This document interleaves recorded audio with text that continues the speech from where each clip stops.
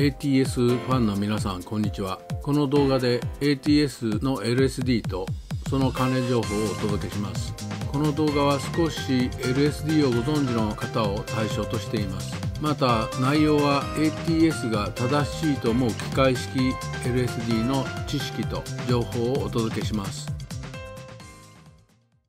ATS は一部の例外を除き表の通りイニシャルトルクを設定しています。メタル LSD の標準タイプは騒音という問題を意識しながらもレース競技用と割り切ってイニシャルトルクを設定していますのでメタル LSD は使用状態によって騒音が発生することがあります。一方カーボン LSD はどのようにセットしても騒音は発生しません。メタル LSD の騒音はオイルの不適合不十分な鳴らし運転やクラッチプレートの消耗などが主な原因です。LSD の騒音については別のテーマでお話ししようと思います。ATS がイニシャルトルクを下げない理由は次の4つです。1LSD はレース競技用部品であり性能が最優先である。2適正なイニシャルトルクによる鋭いレスポンスは速さに不可欠である。3新品時に起きるイニシャルトルクの早期低下に対応している。4サイレント LSD カーボン LSD という騒音防止タイプも販売している。イニシャルトルクを下げない理由を項目ごとに少し詳しくご説明します。1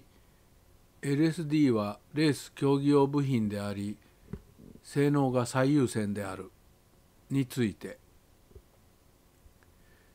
人より速く走行したい優勝したいという強い意欲を持った人が LSD を装着するので ATS はその期待に応えなければいけません。それが ATS の存在意義と考えています。イニシャルトルクは勝つチャンスを引き寄せる最も重要なしかし最も難解な課題と言えます。ハイレベルな戦いの中で連戦連勝する車両ドライバーレーシングガレージは間違いなく LSD のイニシャルトルクの管理を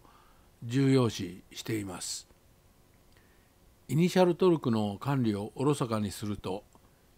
一時は勝てることがありますが長続きしません。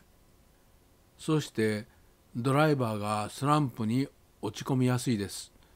イニシャルトルクの低下で徐々にパフォーマンスがそがれていることに気がつかないからそうなるのです。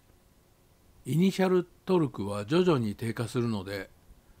それとともに車とドライバーの両方のパフォーマンスをゆっくりと低下させていきます。この現象があまりにゆっくりと進行するのでいかに優秀なドライバーであっても LSD の性能の劣化に気がつきません。この現象は例えばドライバーだけが知りうるレベルのちょっとした操作ミスの増加やドライバーの不安感の増加車両の早期故障タイヤの早期消耗などとして表面化します。同様の難局を LSD の性能改善で乗り切った方以外には LSD を対策するという発想が出てこないので長期のスランプにつながります。3新品時に起きるイニシャルトルクの早期低下に対応しているについて走行するとイニシャルトルクは必ず低下します。特に新品時には大きく低下します。これは主にクラッチプレートの初期摩耗による摩擦係数の変化と皿バネのへたりによります。例えばその車両には100ニュートンメーターのイニシャルトルクが適正値であったとしても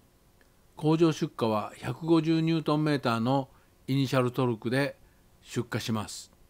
そうすると鳴らし運転後に140ニュートンメーターに下がりフリー走行後に120ニュートンメータ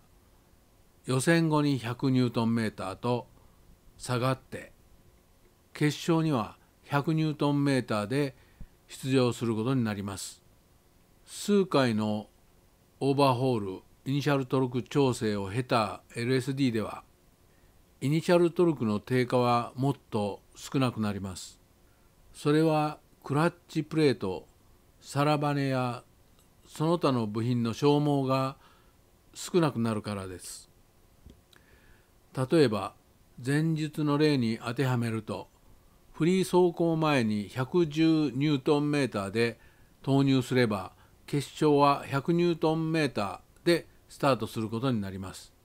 このようにイニシャルトルクが走行とともに下がっていくことを想定して予選決勝でベストコンディションとなるようにイニシャルトルクを設定していくことが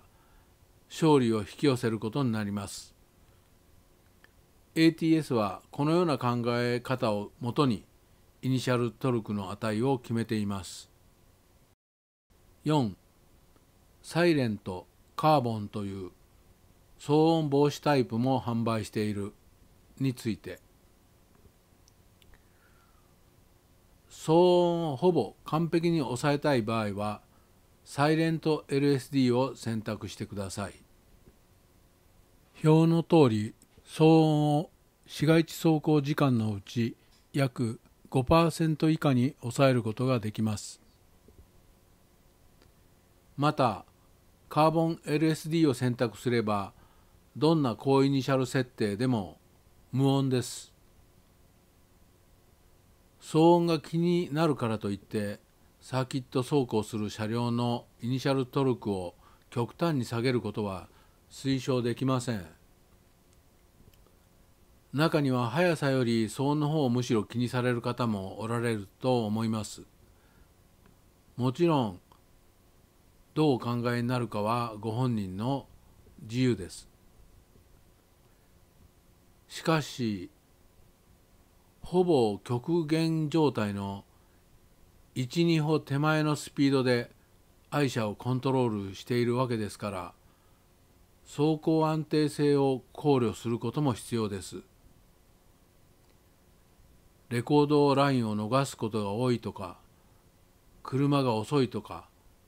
タイムがばらつくことはありませんか？